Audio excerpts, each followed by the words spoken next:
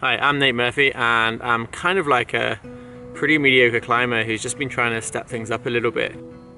In the spring I came to Yosemite and I achieved like a kind of long-term goal of free climbing the Westie Face on the Leaning Tower and since then it was kind of like a logical progression, maybe just try something bigger and harder on El Cap.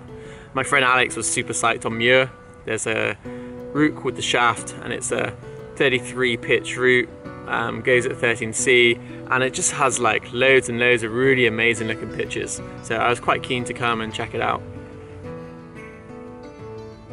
The grades don't really easily translate into UK grades, but if you just base like the midpoint E grade, it's kind of like a two E8s, one E7s, seven E6s, 11 E5s, three E4s, and eight E3 or lower. So it's a pretty stacked wall. So just pack in to go up to El Cap. Um, the pitch three from the top is a 513C, which is 8A plus, um, so it's pretty hard. Um, and just kind of like packing up the stuff into the haul bags. We've got lots of ropes, gear, uh, I'm just gonna hike up. what are you doing?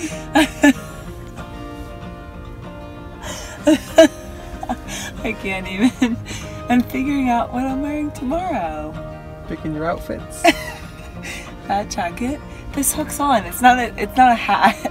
It hooks onto the jacket. It's just a hood.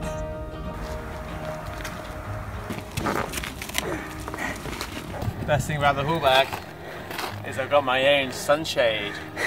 Oh yeah. Just jogging up these fixed lines, hauling my pig behind me. Kind of not the most comfortable thing to do. I'm probably doing it wrong. Such an amazing profile of El Cap right here. We had a bit of an epic coming up here. A lot of tears. I got real scared down there, and so any little bit of scary, I just go over the edge. I just, I'm, I'm more scared than I've probably ever been in my life. it's not that big of a deal. I walked up a slab, I cried the whole way. But we're here. This is a really sweet bivvy right in the top of El Cap.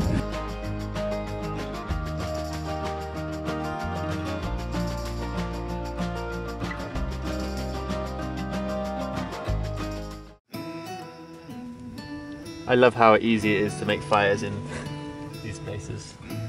It's just incredible. Can't really get better than camping out in the wilderness and having a cool fire.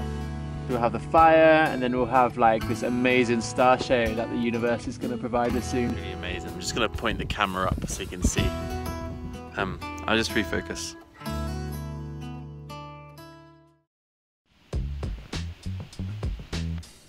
Tama's just coming down now. She's probably quite terrified. It's her first time rapping in and it's just going to be crazy. The exposure you get when you get over this edge, pretty massive. How does it feel, Tama? It's good now that I'm here. Coming down the first two was like, okay, hold up, Gree you got me. it's good. Now that we stopped, I feel great. It's awesome. This is like the craziest view. Check out this pitch. It's totally epic. One perfectly beautiful corner. And from that block down, it's a really nice um, 12B, just onsighted that. as a warm up. So on this wall, that is a good foothold. That's an average foothold. That's a really good foothold. Here coming up, this is the gets a lot smaller between fingertips. The low section of this pitch seems to be okay. Just need to sort out the next 15 feet and then maybe, maybe it's doable. Ah! Ah!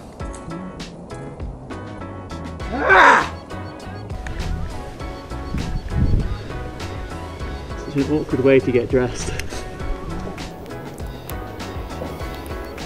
It's pretty hard this, but now it's linked two sections of the crux. But to put it together is hard, and just need to learn how to climb this stuff. Another morning on El Cap. the crack is just wet just makes it so hard to climb. But I got a high point and I think if it was drier I could have got those five more moves to the to the kind of rest. It's a little frustrating. So hard for me to let my body relax onto the feet holds, the tiny. I think I can trust, should be able to trust my feet more. This is school. I'm going to school right now. I'm learning this stuff. Just jogging out now. Gonna go back down to the valley. But what a place to be. Today we're going to drive in to do the facelift, which is a kind of cleanup initiative, um, mostly or organised and arranged by climbers. I think since it started, they've lifted like a million pounds of garbage and trash and old cable and old industrial stuff from the valley. So it's a really cool thing to get involved with and really great fun. So we've got our litter picking kits for the facelift, Yosemite facelift, and we're gonna go to Chapel Wall and clean that place up. We're gonna boss it. Yeah. Welcome to another episode of Doo Doo Hunters. Today on Doo Doo Hunters, we're gonna find some of the most famous spots for doo-dooing behind rocks. Let's get it! Ready today, Tama has found some underpants, some cigarettes, a jumper, some socks. Looks like some sicko just got behind a rock, smoked himself, filled some bags of soil, and took off his clothes. Who knows why, and who knows what we'll find behind the next boulder. That's why we are the Doodoo Hunters. Oh, oh, there's some. We found it. Piece of plastic. What sicko dropped that? Ah. Looks appears to be of some food. But wait, we've got some competition. Just over there, Tara. There's some other Doodoo Hunters. Let's uh, let's, let's make our way out of here before they see us. We're probably on that turf. Okay. Hold on. Look, look, look! Oh, me! Oh, jeez!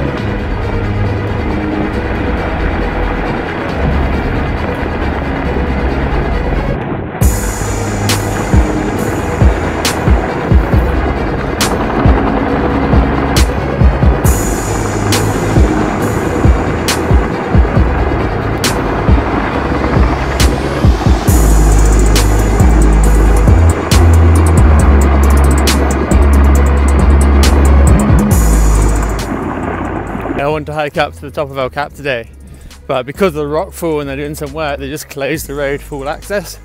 So now I'm gonna have to hike around the road on the other side of the river, then probably just cross the river wherever I can. Everything is coated in dust. Absolutely crazy. It was a big rockfall. Might not be the best idea. Water is pretty cold but this is a great place to cross. It's not too deep, just fast flowing. This is certainly one of the more interesting hikes into El Cap I've done. Oh man, what a mission.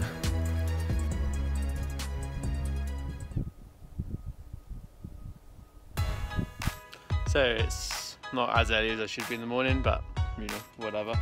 Um, and I'm about to wrap in and what I've done is I fixed my rope to the anchor but I left some slack so it's got some weight. And then I'm sitting on this.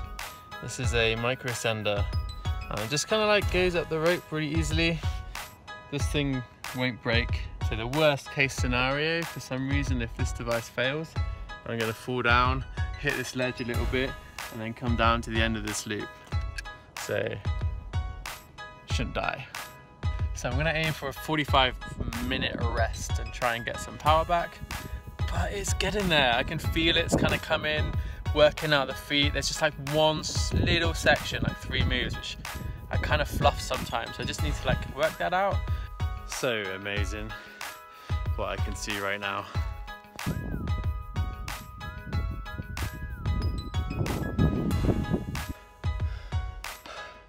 Yesterday, it was basically dry.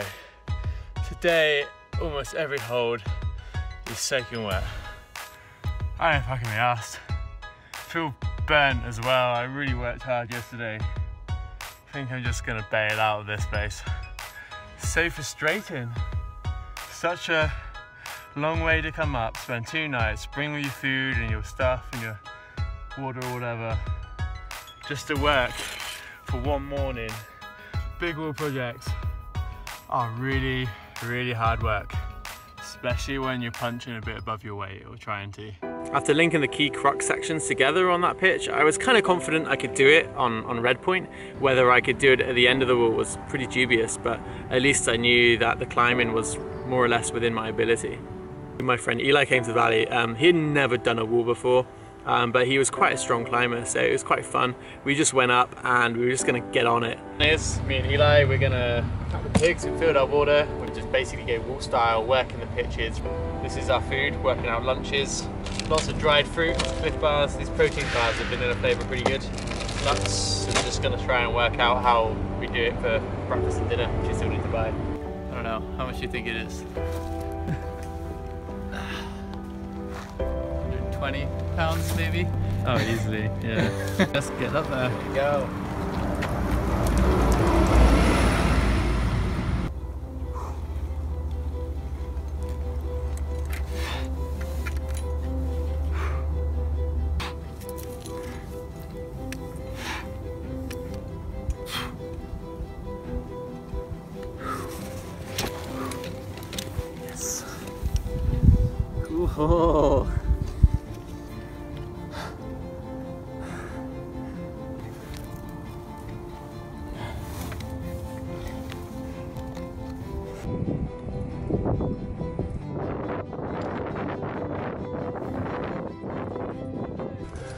Oh, it's hard.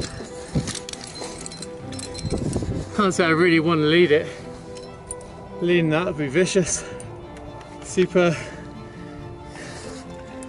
Yeah, just proper Yosemite climbing that.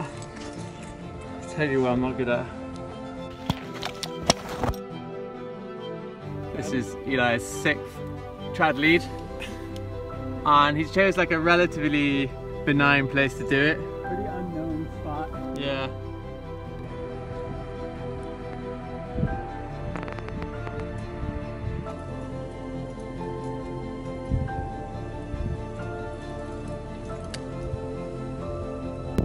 So just led up to Silverfish Corner.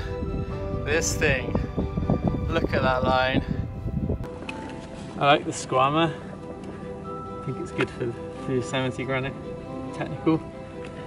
But these arrived like brand new the other day.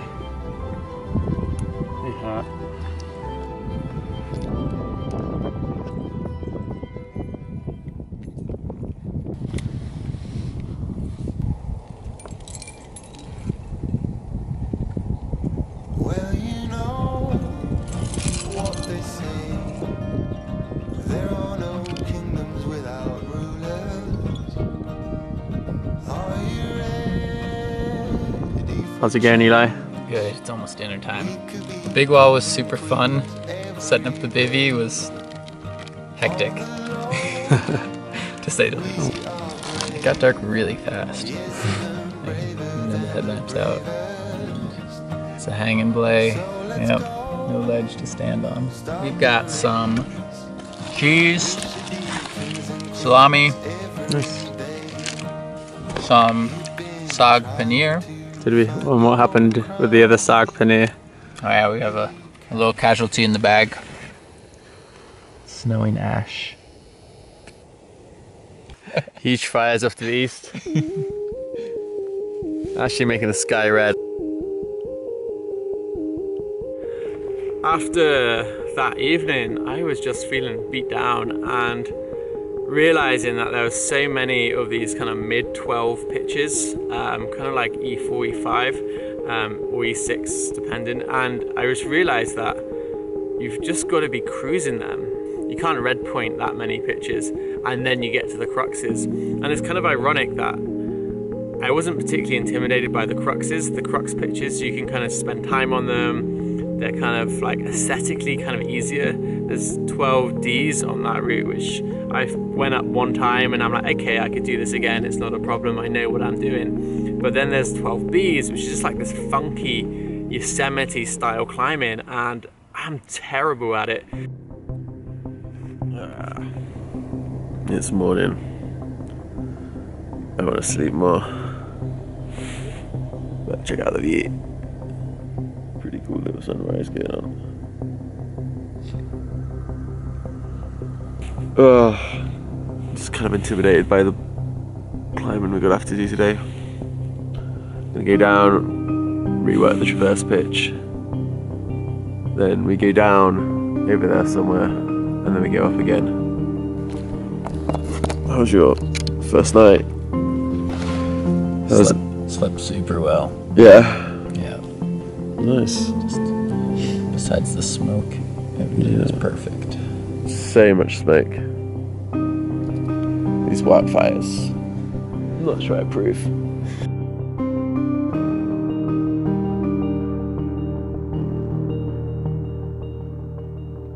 that morning led a couple more pitches and one of them was like 11d and it was legitimately quite scary um, quite poor gear and I really run out to a, peg you could wobble with your finger. And I was just like I don't know like I'm done. Um, and it was just just genuinely like a, a weight lifted from my shoulders like actually you know I'm not quite ready for this route. Um, I don't have the necessary Yosemite style skills. So I had a good sleep last night I decided I don't know, I think this route is too much for me. And it seems at the moment my head is not in a great place for, for hard leading. In the spring I was like super psyched and yeah it's good, like taking big falls, just getting up in its grill, but today it's not happening. So what you're seeing now is an up bail. We're just gonna go up as fast as we can and we'll be off before the storm comes.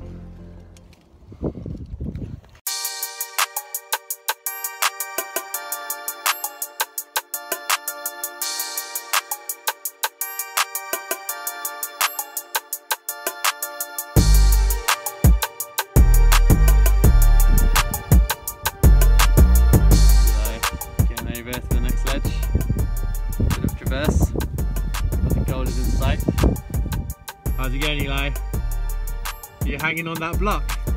But wait, what's that block held on by? no, no, not! What are you doing and why? It's quilling the tangiest rope in the world before it tangles with all the other ropes. And we're on Chicken Head Ledge. It's an amazing ledge. Look at it, and the sunset is just happening right now. Pretty damn cool. And this is like probably the best ledge I've ever been on. Just amazing. And our route carries on up there. Carrying on with the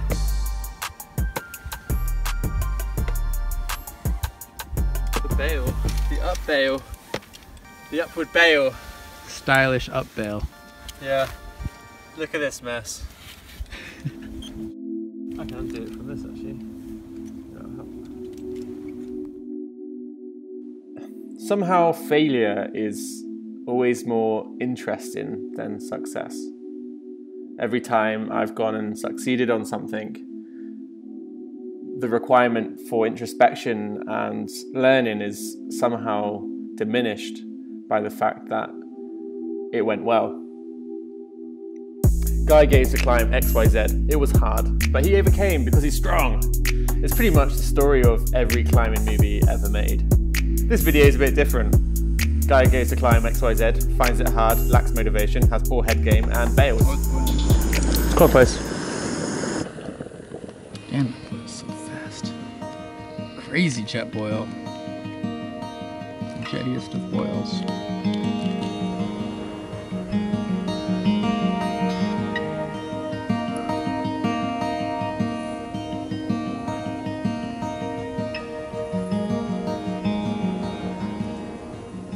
Today the smoke of the wildfire went down the other valley system. Kind of missed the main part so much. Much nicer this morning. I wouldn't get rained on by ash quite as much. Hello. You Eli? videotape my first wall poo.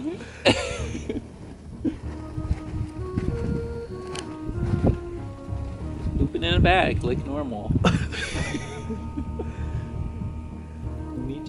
to make a big fuss.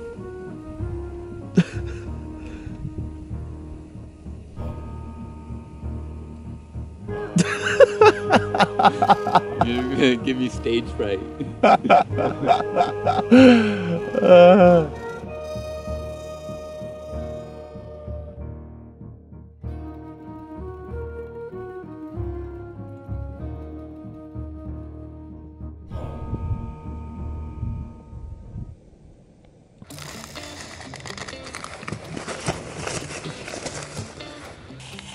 cooking school, we're going to show you how to make oats in a Jetboil. Make the water hot with fire. Second, open the package. Be sure that when you open the package, you open it at the top, not the middle.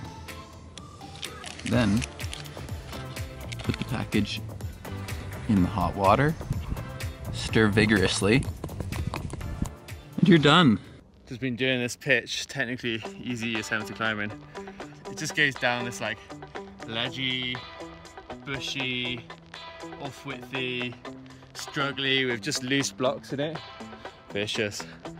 Uh, but the rope drag is so severe. I'm just gonna pull up all the rope, make a fixed anchor for Eli to jumar, and I'm just gonna have to solo the last bit to get to the ledge. Look at the smoke migrating its way out of the valley.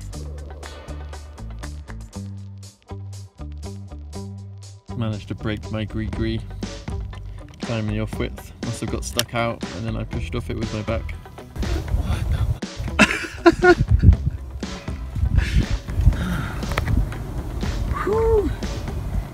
That's some bullshit.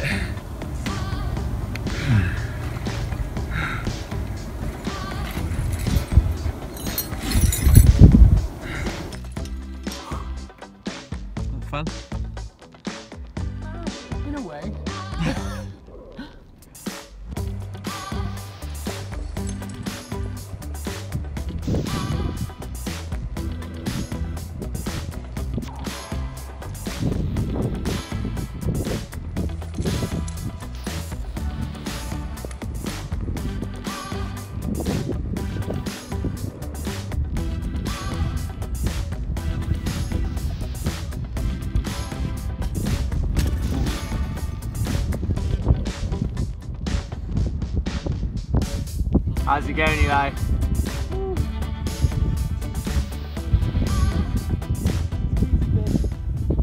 Not.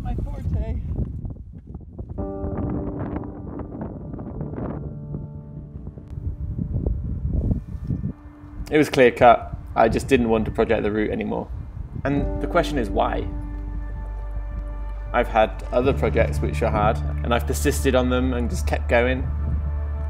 Perhaps it was because it was such a massive challenge and it was not something I'd even really dreamt of doing. I had not even Googled the route or studied the topo before arriving in the valley. Perhaps it was because after nine months of trad climbing, I was losing my drive for it. Perhaps it was just being in the hot seat and having to work out all the beta. It was just getting a bit much. At that point in time, it was probably a mix of all three, um, but it really boiled down to two things. I was not good enough.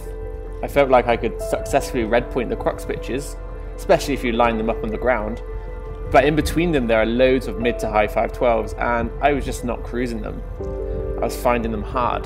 To do a route like this, 512B should not be an issue. Although 7B would be no problem on sport, on this funky Yosemite weirdness, I'm just not good enough. And number two, I didn't want it bad enough. In spring, I wanted the Leaning Tower badly. It meant something to me. I took huge whips, I tried to climb it when it was soaking wet and running with water. This time, I just didn't want to fall at all. I didn't want to take the risk. And to take the risk and to fire up the cylinders, it seems that I really need to want it. Yeah, jump back up. Good job, man.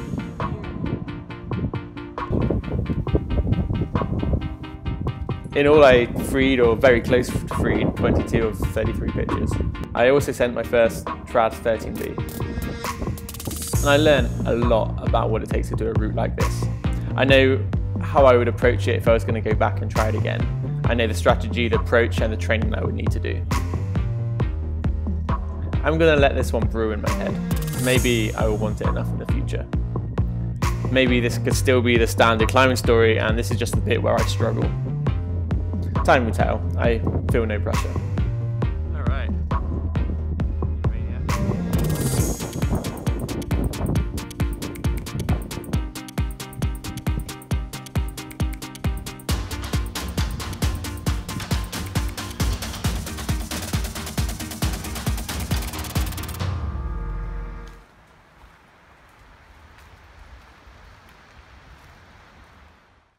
And now for a special feature, merits of the mullet. So Eli, you have been sporting this fantastic mullet for the last few weeks.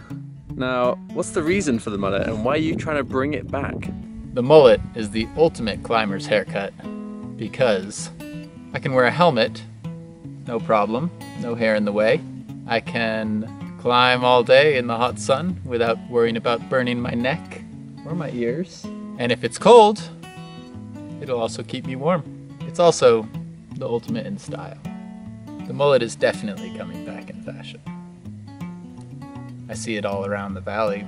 Catalonia for sure. Siurana is covered in mullets. Actually, Lowman, Idaho seemed to be a bit saturated as well. Imagine. No, it's a it's an 80s resurgent. That's what's happening now. So that's the end of merits of the mullet.